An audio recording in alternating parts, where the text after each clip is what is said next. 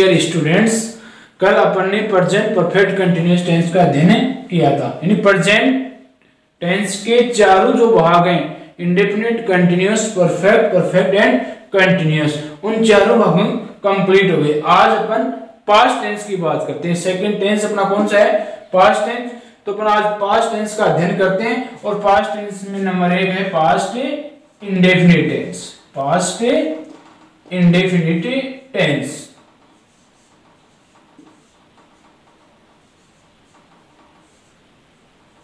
past indefinite tense.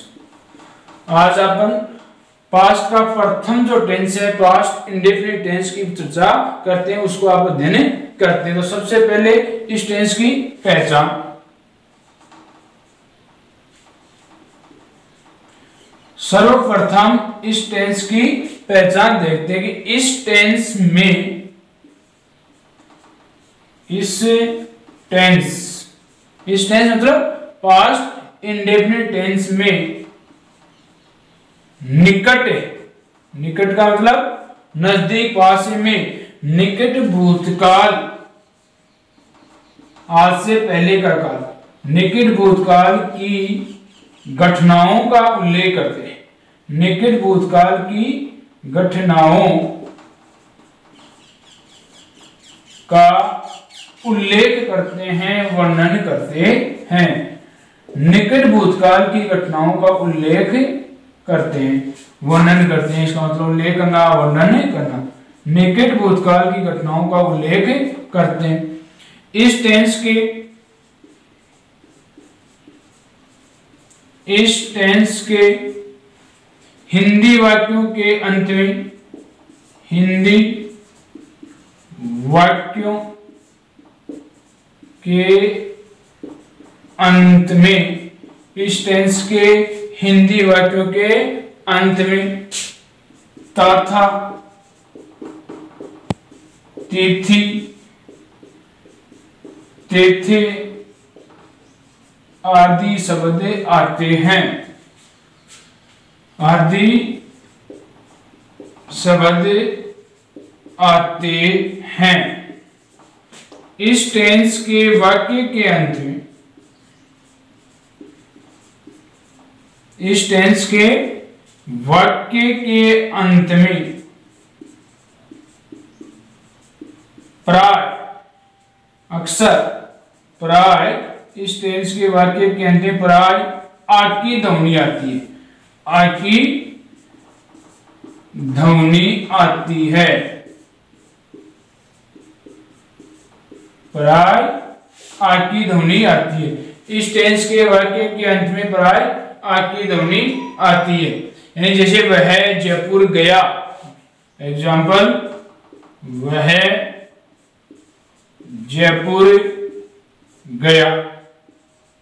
तो गया आ इसमें किसकी ध्वनि आती है? अक्सर आग की ध्वनि आती है। इस टेंस के वाक्य के अंत में अक्सर आग की ध्वनि आती है। हेल्पिंग वर्ब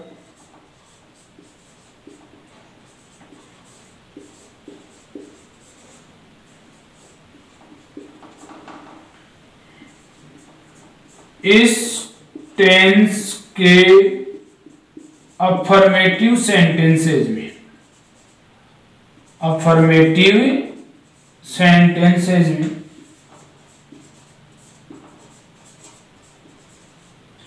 सेंटेंसेज में कोई हेल्पिंग वर्ब नहीं आती कोई हेल्पिंग वर्ब कोई हेल्पिंग वर्ब नहीं आती है।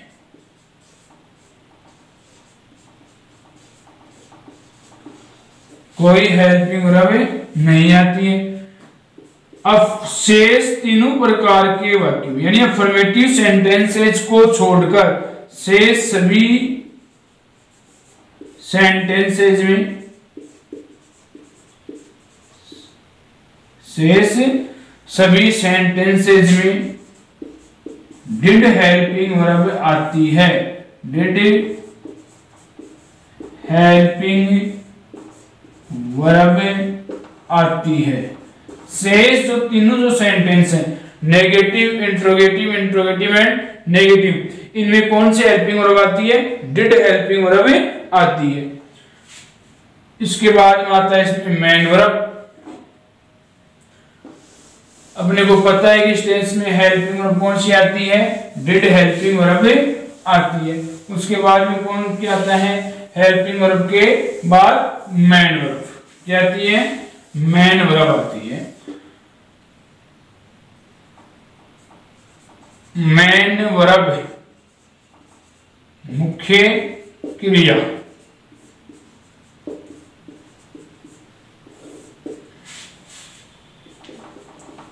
इस टेंस के अफर्मेटिव सेंटेंसेज में, इस टेंस के अफर्मेटिव सेंटेंसेज में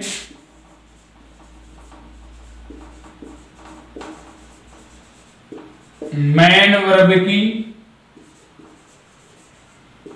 सेकंड फॉर्म आती है। मैन वर्ब की सेकंड फॉर्म आती है। शेष तीनों प्रकार के वाक्यों में शेष तीनों प्रकार के सेंटेंसेज में, तीनों प्रकार के वाक्यों में सेंटेंसेज में, मैन वर्ब की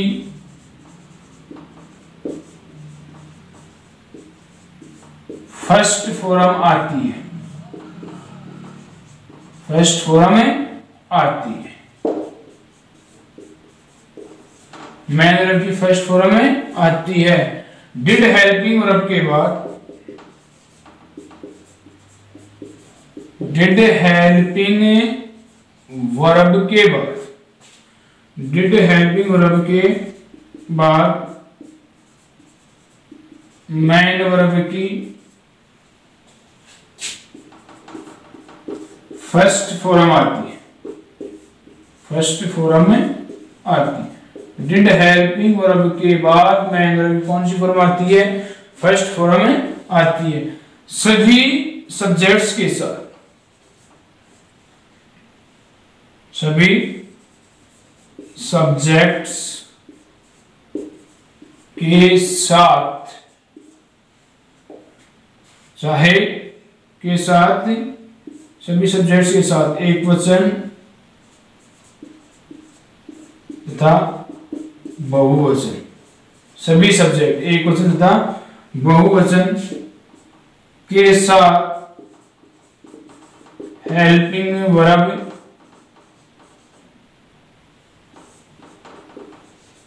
डिड आती है। हेल्पिंग वर्ब डिड आती है। सभी जो सेंटेंसेज हैं, उनमें मेन वर्ब कौन सी आती है? फ़र्स्ट फॉर्म किसको? अफर्मेटिव सेंटेंसेस को छोड़कर। अफर्मेटिव सेंटेंसेस को छोड़कर। अफर्मेटिव सेंटेंसेस में मैन वर्ब की कौन सी फॉर्म आती है? सेकंड फॉर्म आती है। शेष सभी प्रकार के वाक्यों में मैन वर्ब कौन सी फॉर्म आती है? फ़र्स्ट फॉर्म आती है। अफर्मेटिव वाक्य को छोड़कर अफर्मेटिव सेंटेंस को छोड़कर शेष सभी वाक्यों में हेल्पिंग और डिड आती है। और डिड के बाद हमेशा कौन सी फॉर्म आएगी? एमवी फ़र्स्ट और चाहे करता सिंगुलर हो सब्जेक्ट चाहे सिंगुलर हो या चाहे पल्यूरल हो.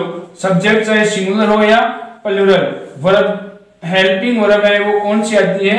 डिड आती है. स्टेज में केवल एक ही हेल्पिंग वर्ब होती है, वो कौन सी होती है?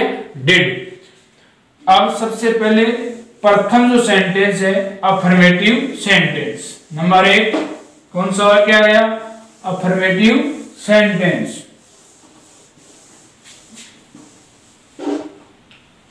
नंबर एक है affirmative sentence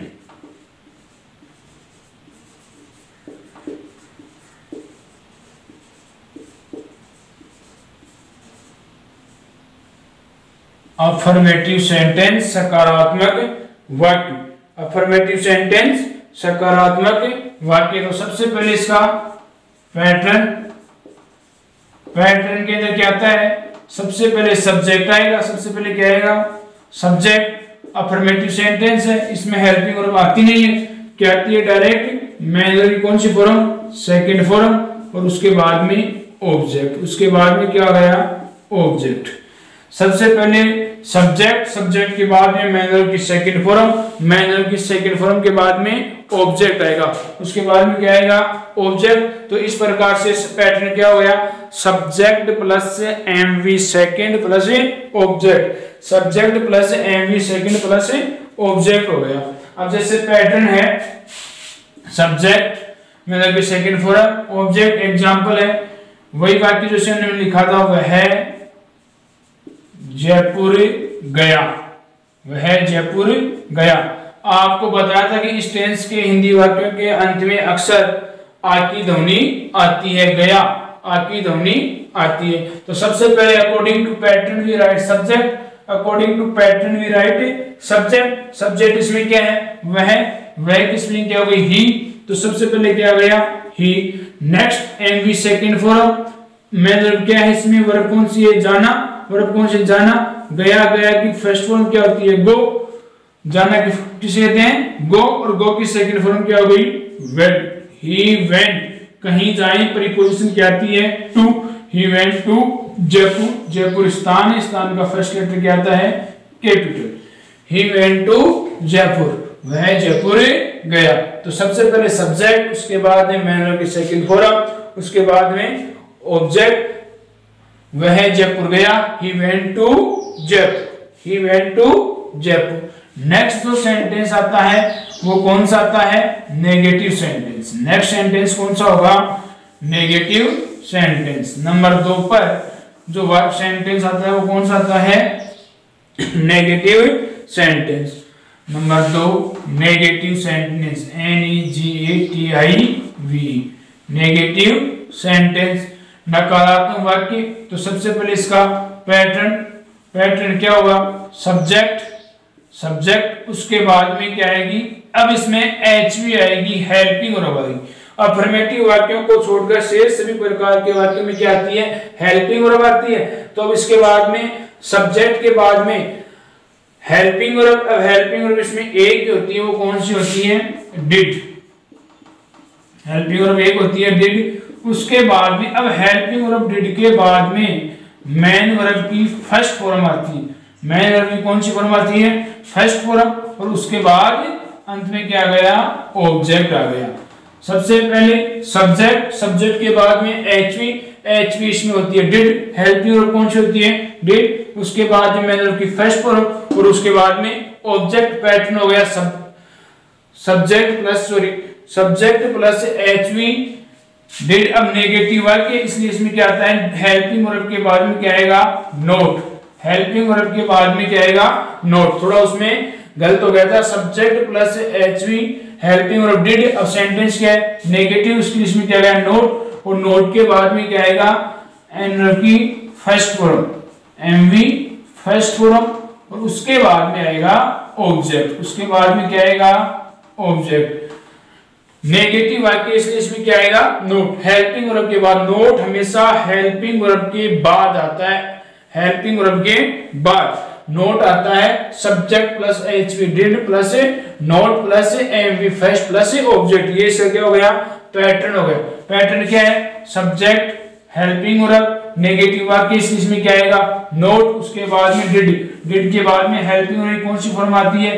first form H V के डिड के बाद में मैन वर्ब की हमेशा कौन सी फॉर्म आती है? फ़र्स्ट फॉर्म और उसके बाद में क्या गया ऑब्जेक्ट तो पैटर्न है subject plus helping verb plus not plus M V first plus object not क्यों आया? क्योंकि वाक्य क्या है? नेगेटिव नेगेटिव वाक्य है तो उसमें क्या इसका प्रयोग करते हैं? नोट का प्रयोग करते हैं। जैसे एग्ज़ाम्पल है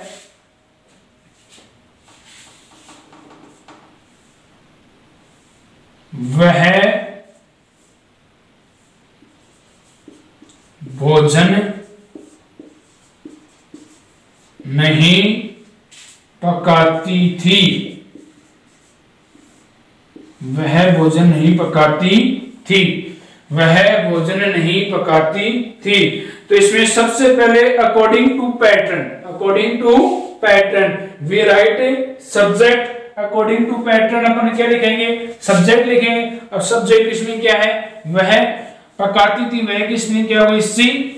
और पुरुष के लिए क्या होता है? ही। सब्जेक्ट तो सबसे पहले क्या हो गया? सब्जेक्ट क्या हो गया? सी। सी इसके बाद में हेल्पिंग और टेंस में कौन सी आती है? एक सब्जेक्ट सिंगुलर हो या प्लूरल वर्ब होगी, वो कौन सी आएगी? डिड डिड के बाद में क्या है? नोट डिड के बाद में क्या है? नोट वाक्य क्या है? नेगेटिव इसलिए किसका प्रयोग करेंगे? नोट का। सी डिड नोट पकाना कुक पकाना कुक कुक की फ़र्स्ट फॉर्म क्या हो गई? कुक अब इसकी सेकंड फॉर्म नहीं आएगी। क्यों? क्योंकि डिड के बाद में हमेशा में कौन सी फॉर्म आती है? First form she did not cook a food object क्या हुआ इसमें? Food she did not cook a food वह भोजन नहीं पकाती थी। तो सब्जेक्ट सब्जेक्ट के बाद में हेल्पिंग ऑफ़ डिड डिड के बाद में नोट नोट के बाद में मैंद्रव मैंद्रव की कौन सी फॉर्म आ गई? फ़र्स्ट फॉर्म और उसके बाद में क्या हो गया? ऑब्जेक्ट हो गया। ऑब्जेक्ट केस में फ़ूड भोजन। तो she did not cook food वह भोजन नहीं पकाती थी। अब नंबर तीन जो सेंटेंस है, वो कौन सा है? इंट्रोगेटिव सेंटेंस नंबर तीन का जो सेंटेंस है, वो आ गया इंट्रोगेटिव सेंटेंस नंबर तीन का वाक्य। Interrogative sentence I N T E double R O G A T I V E interrogative sentence आपको पता है कि इंट्रोगेटिव सेंटेंस दो प्रकार के होते हैं। एक हेल्पिंग वर्ब से शुरू होने वाले वाक्य और एक डब्ल्यू एच वर्ड से शुरू होने वाले वाक्य। अब सबसे पहले किसका प्रयोग करेंगे? हेल्पिंग वर्ब यानी किसका अध्ययन करेंगे? हेल्पिंग वर्ब से शुरू होने वाले सेंटेंस ऐसे वाक्य जिनका प्रारंभ किससे होता है? हेल्पिंग वर्ब से तो सबसे पहले इसका क्या होगा? पैटर्न सबसे प्रथम इसमें क्या आएगा? पैटर्न अब ऐसे वाक्य जिनका प्रारंभ किसी ना किसी हेल्पिंग वर्ब से होता है, किसी न किसी हेल्पिंग वर्ब से होता है, वैसे वाक्य इसके अंदर आते हैं। तो सबसे पहले पैटर्न में क्या आएगी? हेल्पिंग वर्ब किसका प्रयोग करेंगे? एच वी एच वी क्या है इसमें? डिड हेल्पिंग वर्ब क्या है इसमें? डिड हेल्पिंग वर्ब के बाद में क्या लिखेंगे? सब्जेक्ट हेल्पिंग वर्ब के बाद में क्या लिखेंगे? सब्जेक्ट सब्जेक्ट के बाद में मैन वर्ब की फ़र्स्ट फॉर्म एमवी की फ़र्स्ट फॉर्म कौन सी फॉर्म आएगी? फ़र्स्ट फॉरम उसके बाद में ऑब्जेक्ट ऑब्जेक्ट के बाद में अदर वर्ड और सबसे आखिर में, अंत में क्वेश्चन मारक प्रश्नवाचक चिन्ह। जो सबके लास्ट में आएगा, वो प्रश्नवाचक चिन्ह आता है। जैसे एग्ज़ाम्पल क्या वे दौड़ते थे? क्या वे दौड़ते थे? क्या वे दौड़ते थे? तो वाक्य का जो प्रारंभ है, वाक्य का जो प्रारंभ है, वो किससे करेंगे? एच से करेंगे हेल्पिंग वर्ब से करेंगे। अब हेल्पिंग वर्ब अपन को पता है कि इस टेंस में हेल्पिंग वर्ब क्या आती है? केवल डिड सब्जेक्ट चाहे सिंगुलर हो या प्लूरल हेल्पिंग वर्ब क्या आएगी? डिड आएगी। डिड उसके बाद में सब्जेक्ट क्या है इसमें? वे डिड दे डिड दे उसके बाद में एम वी फ़र्स्ट फॉर्म दौड़ना दौड़ना रन रन की फ़र्स्ट फॉर्म क्या होती है? Run uh did they run क्या वे दौड़ते थे? ऑब्जेक्ट है नहीं अदर वर्ड है नहीं, अंत में क्वेश्चन मारा डेड दे रन क्या वे दौड़ते थे? तो सबसे पहले हेल्पिंग वर्ब आ गई, उसके बाद में सब्जेक्ट उसके बाद में मैन की फ़र्स्ट फॉर्म ऑब्जेक्ट है नहीं इसमें, और अंत में सबसे आखिर में, अंत में क्या गया? क्वेश्चन है मार्ग प्रश्नवाचक चिन्ह. नंबर दो जो वाक्य होते हैं, वो कौन से होते हैं? ऐसे वाक्य जिनका प्रारंभ किसी ना किसी डब्ल्यू एच वर्ड से किससे हो? किसी ना किसी डब्ल्यू एच वर्ड से प्रारंभ होने वाले वाक्य। नंबर दो डब्ल्यू एच वर्ड से। डब्ल्यू एच वर्ड से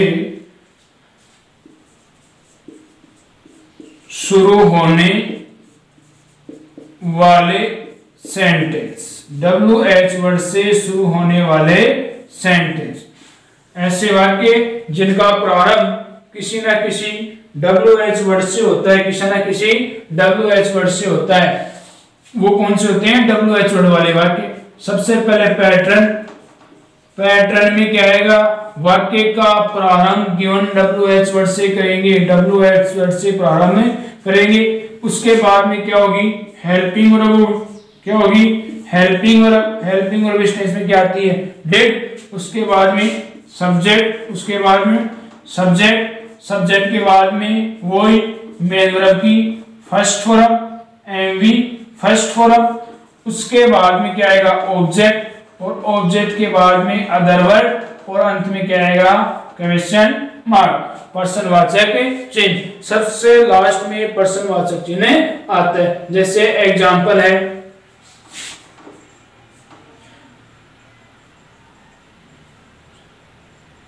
इस वाक्य में W H word helping verb subject subject के बाद में रखी first form plus object example है, वह कहा गया? वह कहा गया? वह कहा गया? अब इस वाक्य में सबसे पहले अपने को पता है कि शुरुआत किससे होगी? डब्ल्यू एच वर्ड से। अब इसमें डब्ल्यू एच वर्ड शब्द कौन से है कहा? कहा की स्पेलिंग क्या होती है? वेहर तो according to pattern we first write given W H word given W H word क्या हो गया? वेहर वेहर उसके बाद में हेल्पिंग रब डिड सब्जेक्ट सिंगुलर हो या प्लूरल क्या आ गई? Did where did where did उसके बाद में क्या है? सब्जेक्ट सब्जेक्ट क्या है? ही वेयर डिड ही गया। जाना जाना की फ़र्स्ट फॉर्म क्या होती है? Go. Where did he go. Other सवाल इसमें है नहीं। लास्ट में क्या गया? क्वेश्चन है। हमारा वेयर डिड ही गो। वह कहा गया? तो सबसे पहले W H word W H word के बाद में एच वी एच वी के बाद में सब्जेक्ट सब्जेक्ट के बाद में मैंने फ़र्स्ट फॉर्म उसके बाद में ऑब्जेक्ट और ऑब्जेक्ट के बाद में अंत में क्वेश्चन मार्क अब इसका अंतिम जो वाक्य नंबर चार। इंट्रोगेटिव सेंटेंस हो गया। अंतिम सेंटेंस कौन सा है? इंट्रोगेटिव एंड नेगेटिव सेंटेंस यानी पर्सन वाचक भी होगा वाक्य, और नकारात्मक भी होगा, उसमें नोट भी होगा पर्सन भी पूछा जाएगा, लेकिन उसके साथ साथ उसमें क्या दिया होगा? नोट भी दिया होगा, नहीं भी होगा। नंबर चार। Interrogative and negative sentence. Interrogative and negative sentence पर्सनवाचक तथा नकारात्मक दोनों प्रकार के वाक्य। तो इनमें सबसे पहले जो वाक्य आता है वो कौन सा आता है? हेल्पिंग वर्ब से शुरू होने वाला वाक्य नंबर एक। एच वी से शुरू होने वाले सेंटेंस ऐसे वाक्य जिनका प्रारंभ हेल्पिंग वर्ब से ऐसे वाक्य जिनका प्रारंभ हेल्पिंग वर्ब से होता है, सहायक क्रिया से होता है, उनको कौन से कहते हैं? हेल्पिंग वर्ब से शुरू होने वाले वाक्य. तो सबसे पहले इसका पैटर्न पैटर्न क्या आएगा?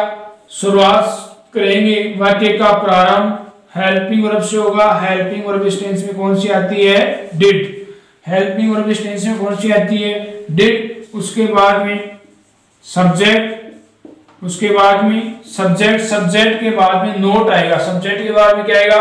नोट क्योंकि ये वाक्य इंट्रोगेटिव एंड नेगेटिव बोथ दोनों है। तो सब्जेक्ट के बाद में क्या हो गया? नोट नोट के बाद में वही MV first form plus object और वाक्य के अंत में अदर वर्ड के बाद। क्वेश्चन है? मार्क वाक्य के अंत में क्या आएगा? क्वेश्चन वाचक चेन क्वेश्चन है? मार्क आता है। जैसे एग्जांपल है। एग्जांपल है, क्या आप क्रिकेट नहीं खेलते थे? क्या आप क्रिकेट नहीं खेलते? थे। क्या आप क्रिकेट नहीं खेलते थे? इस वाक्य का जो एग्ज़ाम्पल स्टेंस का, वो क्या है? क्या आप क्रिकेट नहीं खेलते थे? तो सबसे पहले according to pattern we write helping और हेल्पिंग और क्या होती है? डिड और सब्जेक्ट की तरफ़ अपने को ध्यान ही नहीं देना है। सब्जेक्ट कैसा भी हो सिंगुलर हो या प्लूरल इस टेंस में एक हेल्पिंग और आती है, वो कौन सी होती है? डिड डिड उसके बाद में according to pattern next we write subject subject इसमें क्या है? आप आपकी इंग्लिश क्या हो गई? You why did you did you उसके बाद में वाक्य नेगेटिव भी है। तो नेक्स्ट क्या आएगा? नोट डिड यू नोट अब खेलना मैन कौन सी है? खेलना खेलना की क्या हो गई मैन फ़र्स्ट फॉर्म प्ले। तो why did you not play. Did you not play. Object के इसमें? Cricket C R I C K T में question mark did you not play cricket क्या आप क्रिकेट नहीं खेलते थे? अब नेक्स्ट है, इसमें कौन सा नंबर दो का डब्ल्यू एच वर्ड से शुरू होने वाले सेंटेंस ऐसे वाक्य जिनका प्रारंभ किससे हो? डब्ल्यू एच वर्ड से हो। वाक्य का प्रारंभ किससे हो? डब्ल्यू एच वर्ड से। वैसे सेंटेंस जिनका प्रारंभ किसी ना किसी डब्ल्यू एच वर्ड से होता है। डब्ल्यू एच वर्ड से शुरू होने वाले सेंटेंस डब्ल्यू एच वर्ड से शुरू होने वाले सेंटेंस तो सबसे पहले पैटर्न होगा। पैटर्न में क्या होगा? डब्ल्यू एच वर्ड क्या होगा? डब्ल्यू एच वर्ड उसके बाद में H V H V tense में कौन सी आती है? डिड उसके बाद में सब्जेक्ट उसके बाद में सब्जेक्ट सब्जेक्ट के बाद में नोट सब्जेक्ट के बाद में क्या आएगा? नोट नोट के बाद में वही M V first form M V first form उसके बाद में ऑब्जेक्ट उसके बाद में क्या गया ऑब्जेक्ट और ऑब्जेक्ट के आखिर में क्या गया? क्वेश्चन मार्क प्रश्नवाचक चेंज तो सबसे पहले डब्ल्यू एच वर्ड उसके बाद में हेल्पिंग और update plus subject plus not plus MV first form plus object जैसे वही सेंटेंस है कि आप क्रिकेट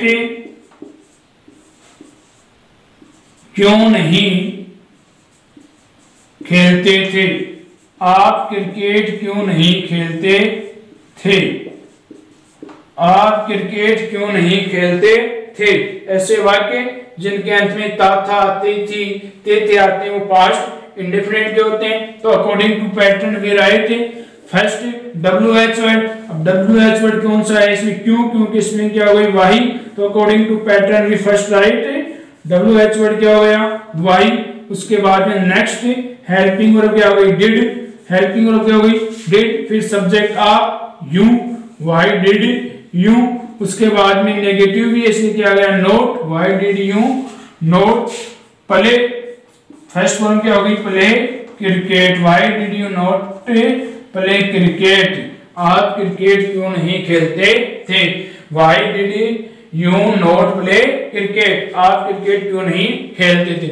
इस प्रकार से पास्ट इंडेफिनिट के जो चारों सेंटेंस हैं, चारों सेंटेंस क्या हो गए? कंप्लीट हो गए. पास्ट इंडेफिनिट के चारों जो वाक्य हैं अफर्मेटिव से लेकर इंट्रोगेटिव एंड नेगेटिव सेंटेंस को क्या होया कंप्लीट हो गए। तो आज के लिए स्टूडेंट्स इतना ही। थैंक्स